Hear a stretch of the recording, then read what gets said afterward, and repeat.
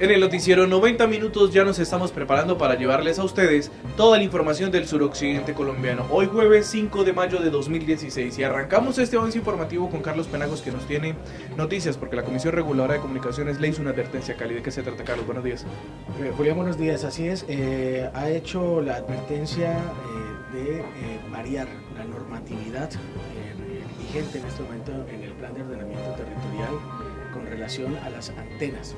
Y es que no se debe hablar de distancia, no se debe eh, medir en términos de metros la distancia en la que se debe ubicar una antena, sino eh, la ionización y la radiación que pueden emitir eh, estos elementos, estos aparatos.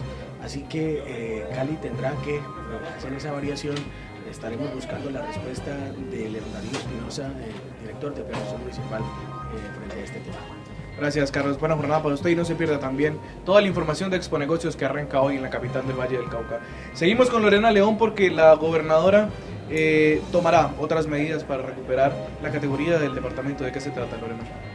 Sí, Julián, buenos días. Bueno, eh, la Contraloría realizó un informe eh, de cierre fiscal donde se pudo evidenciar que evidentemente el departamento no tiene las condiciones para estar en categoría especial como la anterior administración lo había eh, decretado. Es por esto que la gobernadora ha dicho que se tomarán las medidas correspondientes legales para ver si se demanda el decreto anterior o no, para regresar al departamento a categoría primera y poder, poder liberar unos recursos que ayudarían pues al tema del déficit financiero en el departamento. Hoy a la veremos de qué se trata esto.